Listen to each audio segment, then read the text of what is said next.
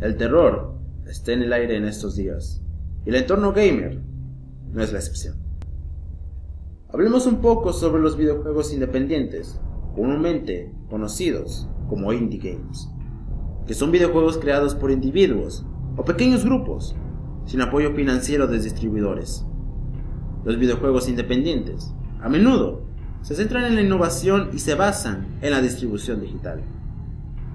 Si bien los juegos indie no son muy conocidos por los gamers promedio, existen ciertos juegos independientes que han tenido la suerte de pegar fuerte en el gran mercado y han conseguido tener excelentes ventas y también cosechar muy buenas opiniones por parte de la crítica.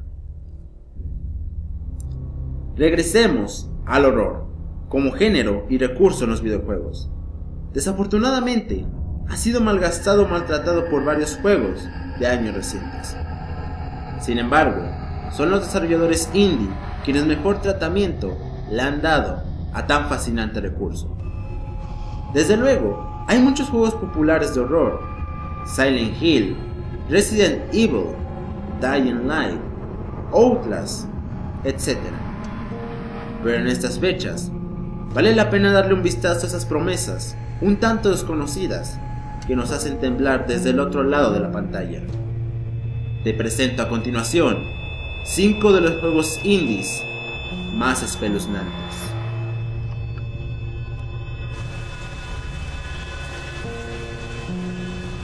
Número 5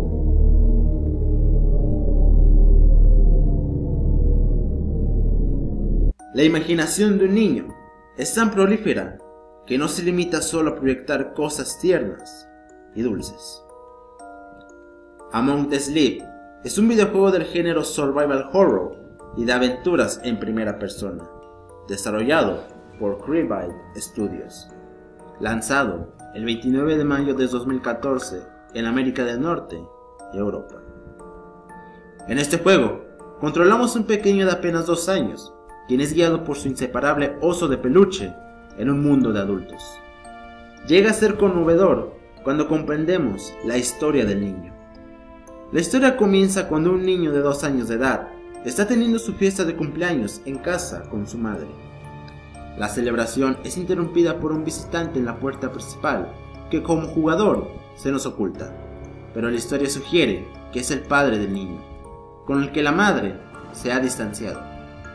Una vez que la discusión termina, y la madre ha rechazado la petición del padre para ver a su hijo, el tono de enojo de la madre asusta al niño, cuyo temor se presenta como una visión borrosa. Rápidamente, la madre regresa con un regalo. Entonces, se lleva al niño y el regalo hacia arriba, a la habitación del niño. Un lugar de colores vivos y cálidos y la luz del sol. Antes de que el regalo se abra, suena el teléfono y la madre deja a su hijo en la habitación para que juegue solo. El regalo se revela, es el oso de peluche antes mencionado, que parece estar vivo en los ojos del niño. Si quieres saber más, te recomiendo que lo juegues. O bien, ve algún gameplay. Llega a ser terrorífico cuando nos ponemos en su lugar. A esa edad tan inocente, un pobre niño, quien maneja dentro de su joven mente la separación de sus padres y los problemas conductuales de su madre, y lo ve reflejado en sus sueños. El mundo adulto puede llegar a ser aterrador. Número 4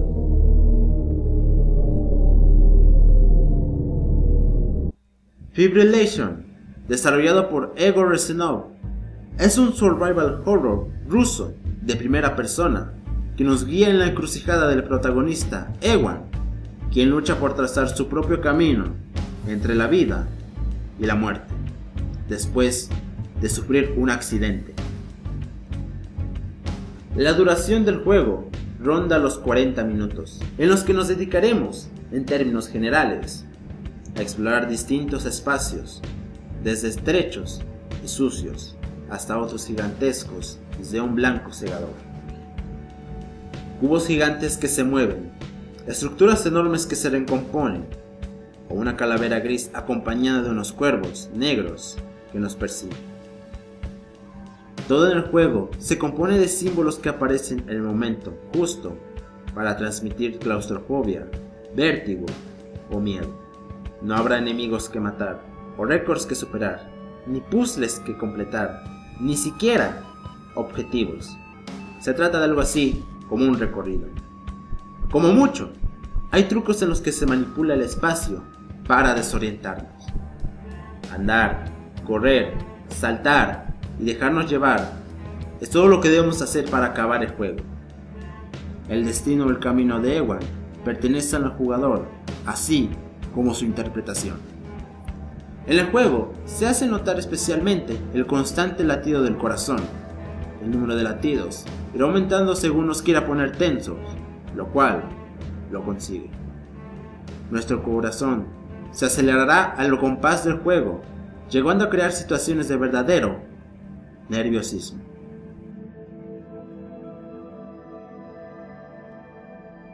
Número 3.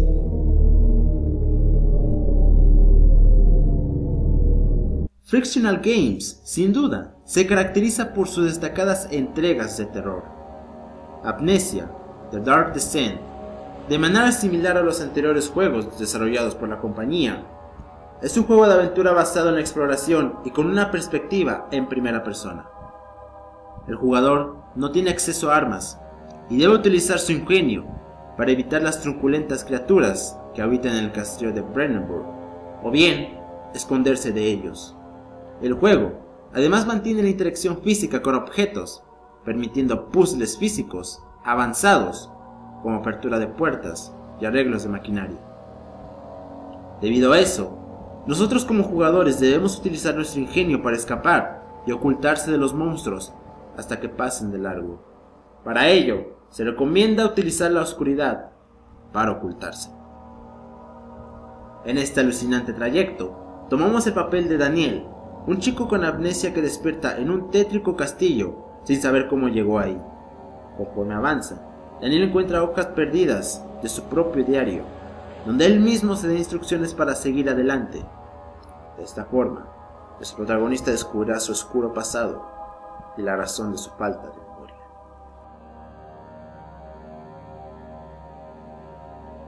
Número 2. Casi terminando este top, nos encontramos con este juego. Ana, desarrollado por Dream Painters. Es un videojuego italiano del género terror psicológico, lanzado el 2012. El juego gira en torno a un hombre amnésico y sus sueños constantes sobre un aserradero en las montañas cerca de su ciudad y una figura familiar para él llamada Ana, quien funge como guía y a la vez como adversario. Él decide ir para descubrir su conexión y sus recuerdos perdidos.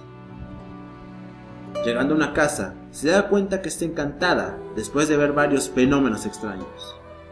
Lo demás es historia.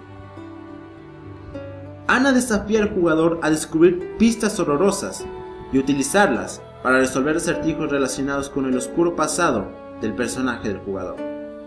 Conforme el protagonista explora, comienza a escuchar voces que pertenecen a él y de Ana, entre otros. A través de esas voces y textos encontrados en todo el aserradero, descubre que él ha tenido una historia obsesiva por una antigua deidad llamada Ana que ya había olvidado. El comportamiento del jugador lo lleva no solo a determinar la salud mental del protagonista, sino que también puede cambiar de ubicación y desvelar nuevos secretos que conducen a diferentes finales.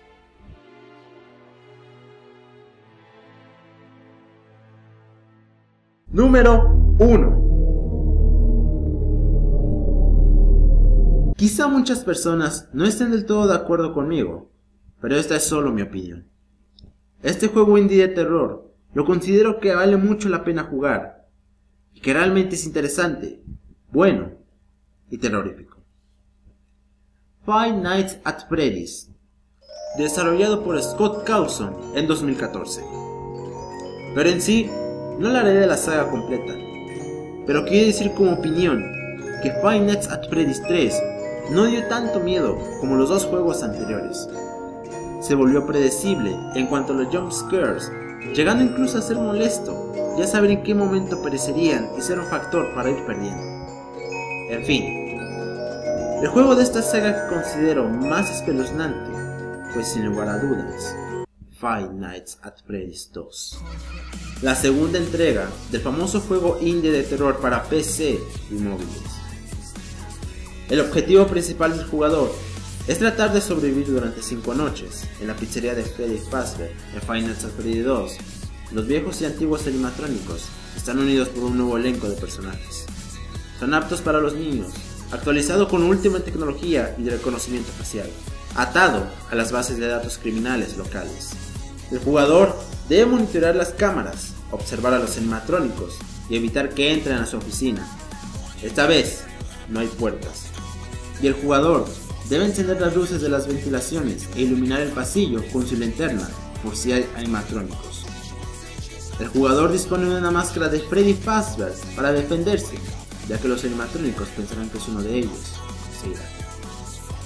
Para contrarrestar las ventajas de la máscara, se ha añadido un nuevo animatrónico, Puppet, que funciona muy parecido a Foxy en el primer juego. Este animatrónico ir constantemente y darle cuerda a la caja musical que tiene, ya que esto es lo que lo mantiene calmado. No se le da cuerda y se acaba, solo te queda esperar que Puppet venga hacia ti. De igual manera, tenemos a Foxy, que no le afecta la máscara, sino que responderá a la linterna para irse. La historia detrás de este juego. Es bastante larga e incierta. Dejémoslo para otro video. El juego en sí es bastante difícil, pero más que nada, terrorífico. Tener que vigilar a 11 animatrónicos, alumbrar con la lámpara, ponerte la máscara de Freddy, darle cuerda a la caja musical, y si llegas a la noche número 6, te darás cuenta que debes cuidarte de alguien más. En fin, estos son los juegos indies de terror que más considero valen la pena jugar para pasar un buen rato de terror frente a la computadora, de noche, con cortinas cerradas, todas las luces apagadas y audífonos a todo volumen. Si el video te gustó, lo agradecería demasiado si le das pulgar arriba. Suscríbete a este canal por si deseas ver más videos así. Te deseo bonita mañana, tarde y noche, donde quiera que estés. Nos veremos en otro video. Cuídense mucho. Adiós.